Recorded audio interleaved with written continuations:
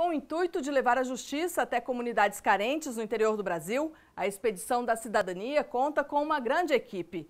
A comunidade de Santo Amaro recebeu juízes federais voluntários, servidores e profissionais de várias áreas. Eles levaram assistência judicial à população carente que mais precisava. Durante cinco dias de trabalho, juízes federais de várias partes do país realizaram mais de mil audiências. A iniciativa contribui para desafogar o judiciário e tornar a Justiça Federal mais conhecida. Acompanhe.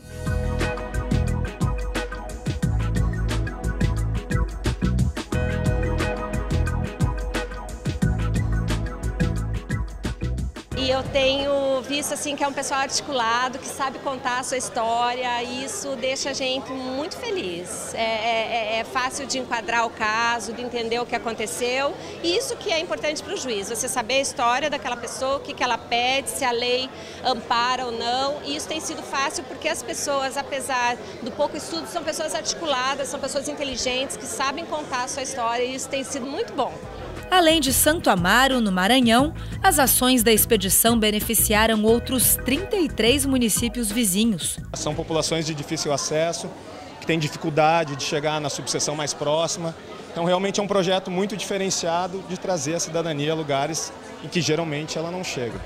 E para quem não tinha como chegar até Santo Amaro para resolver o problema na justiça, estes transportes, conhecidos como jardineiras, foram utilizados para fazer o deslocamento da população. Veio gente de tudo quanto foi jeito. A Vicentinalva, por exemplo, fez uma longa viagem para chegar até aqui. Passou quanto tempo para chegar até aqui? Ô, oh, meu irmão, nós saímos de lá ontem. E não veio só gente com o processo tramitando na justiça. O Pedro viajou para servir como testemunha. Vamos para casa, só ele receber o documento dele e nós vamos embora. Já conseguiu resolver? Ah, já, já, é, só falta receber ali já. E outras pessoas se dispuseram a vir só para dar uma força aos amigos. É o caso da Júlia, que veio até Santo Amaro só para dar carona. Eu acho maravilhoso também, né? Até porque eu trouxe, é, é, são conhecidos meus, trabalharam com meu pai e estou aqui para ajudar e voltando. Se Deus quiser, gente volta em paz. No total, a Expedição da Cidadania realizou 1.046 audiências, todas elas relativas a benefícios previdenciários. 414 foram de aposentadoria por idade e 50 de auxílio-doença. Já as audiências para receber pensão por morte somam 252 e foram feitas outras 330 para solucionar processos relativos a salário e maternidade. E às vezes esses processos demoram, é, há pessoas que precisam muito desse dinheiro.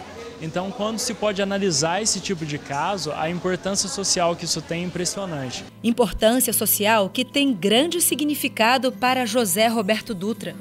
O pescador trabalha desde a infância e é pai de seis filhos.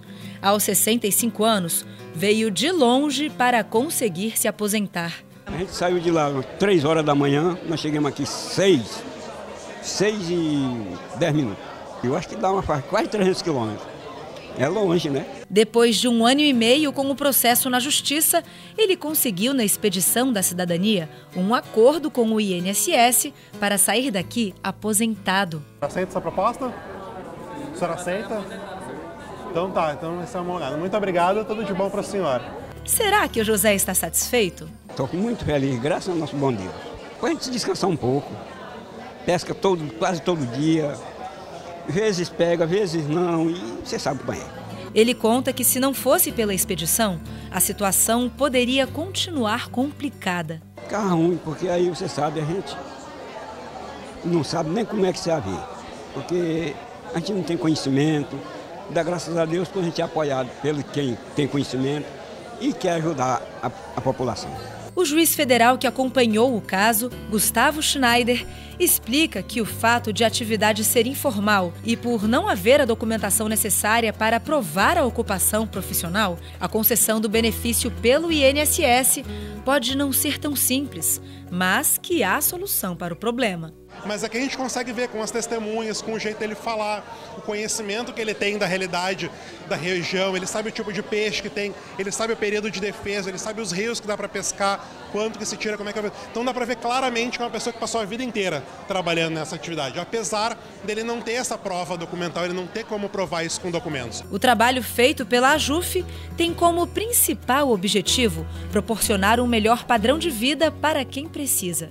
Os juizados especiais federais na seção judiciária do Maranhão vão ter um, uma redução no acervo processual, né, permitindo que no, nós façamos, uh, uh, antecipemos uh, as, as, audiências que permanecem lá, que não vieram para esse mutirão, e é um acervo de 1.100 processos a menos, que vão ser julgados em uma semana apenas. Não? Essa experiência em que o juiz vem, sai do, gabinete e vem para próximo da comunidade é extremamente gratificante.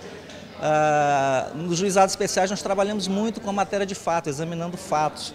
E o juiz passa a ter uma, uma, uma visão é diferente do, do de mundo, ele a, a, após ter contato direto com a realidade em que o segurado vive. Sem dúvida nenhuma, isso é uma experiência profissional fantástica e uma experiência pessoal também fantástica. Né?